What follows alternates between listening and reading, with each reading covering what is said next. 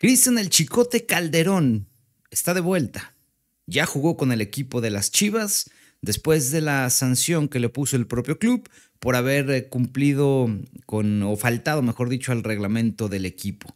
Y fue recibido en medio de abucheos por toda la afición que se hizo presente el día de ayer en el Estadio Jalisco.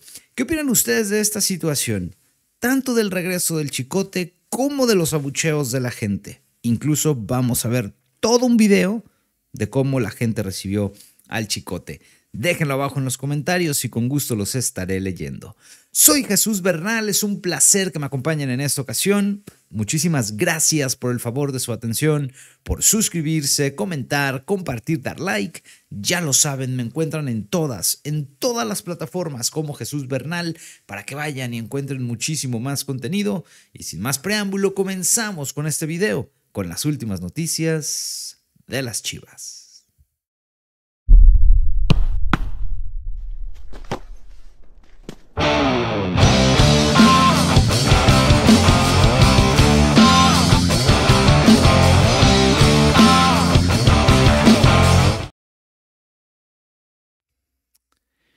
Bien, pues Cristian el Chicote Calderón regresó el día de ayer eh, con el equipo del Guadalajara se hizo eh, ya presente en el terreno de juego. De entrada, pues sorprendió su convocatoria al primer equipo, lo cual me parece fue por eh, plena necesidad. Y es que habrá que recordar que el Chiquete Orozco no se recuperó, lo que te hacía salir al partido solo con un lateral izquierdo. Entonces creo que a partir de ahí es donde se toma la decisión de reintegrarlo, porque casualmente sí va Chicote, pero Vega no. Si estuvieran, digamos, perdonados los dos, pues probablemente ambos hubieran cabido en esta convocatoria, pero no fue el caso, evidentemente, para este compromiso. Y en realidad el partido del Chicote fue muy gris, o sea, tampoco es como que tuvo muchas opciones de ataque, le conté un centro, fue todo a la defensiva. Le ganaron por ahí en un balón filtrado en una ocasión. El resto lo pasó muy tranquilo porque eh, ya no hubo grandes sobresaltos en el enfrentamiento. Pero la gente le hizo sentir su malestar con respecto a la indisciplina que cometió el lateral izquierdo del equipo del Guadalajara. Y cada que tocaba el balón, cada que aparecía Cristian, lo abucheaban. Incluso desde que se transportó a la zona de traslado donde se realizan los cambios y que la gente lo ubicó que ya estaba ahí, comenzaron la, recriminación, comenzó el abucheo justo por, por esta situación de lo que aconteció con él allá en Toluca. Vamos a ver este clip de videos que grabé justo en el estadio donde se aprecia el trato que le da la afición a Cristian el Chicote Calderón. Ahí está, van a mandar tres cambios al Guti, a Chicote y me parece que es ya el Padilla el otro.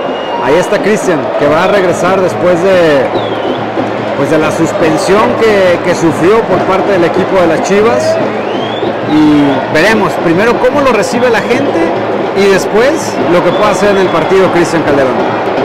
Ahí está Pauno dándole algunas indicaciones precisamente a Cristian Calderón sobre los centros, supongo, y lo que busca de él para el partido. Yo creo que con esto oficialmente ya llegó el perdón. Ahí las últimas indicaciones antes del ingreso. El partido está detenido por alguna situación, por los cambios justamente va a salir Gorrearán, ya se está encarando con el oso González, viene también Córdoba. Y como que se descompuso el tablero electrónico, pero ahí va ya, Cristian Calderón a la cancha. Yo nada más quiero ver qué va a decir el sonido local y qué va a ocurrir cuando lo anuncien a través de las bocinas. Escuchen, va el abucheo.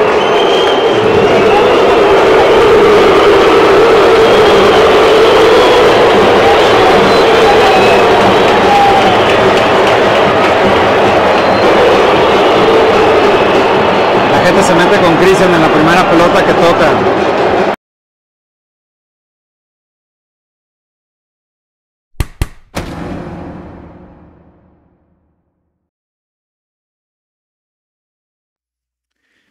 Bueno, el que también habló fue la estratega del equipo Velko Paunovic, quien eh, pues eh, platicó y comentó eh, diferentes cosas en, este, en este partido, ¿no? en este enfrentamiento.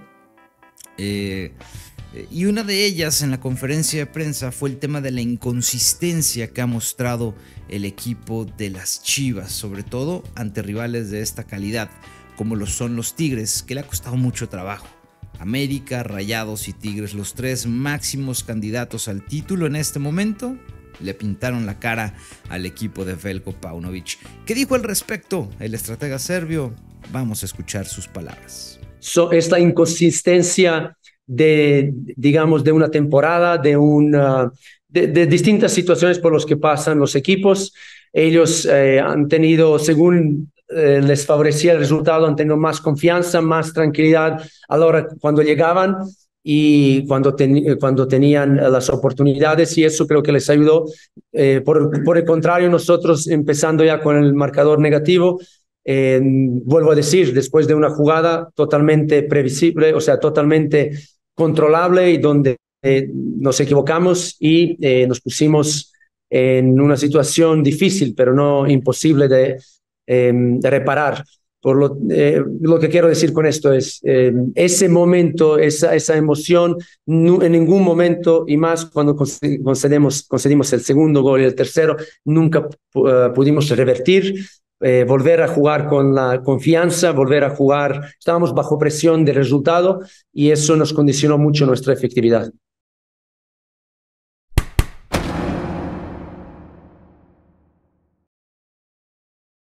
Y bueno, pues ya no hay mucho tiempo para lamentos en el equipo del Guadalajara. Y es que el próximo martes tienen que enfrentar ya a la escuadra de Querétaro en este partido correspondiente a la fecha número 15 del Campeonato Mexicano.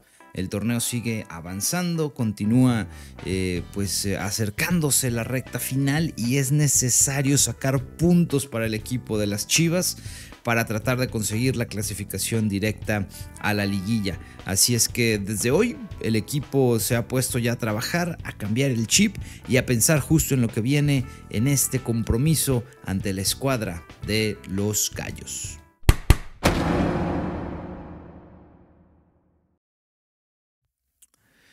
Y bueno, pues ya para terminar, em, justo el equipo del Guadalajara desde hoy a trabajar en un día nublado en la Perla Tapatía. Eh, y mañana harán lo propio. De hecho, mañana lunes está programado el viaje a la ciudad de Querétaro, el cual eh, seguramente será por la vía terrestre.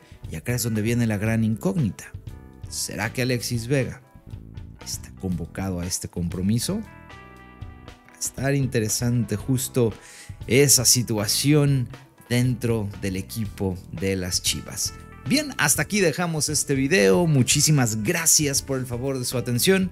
Síganse suscribiendo, comentando, compartiendo, dando like y nos vemos en la próxima. Soy Jesús Bernal. Adiós.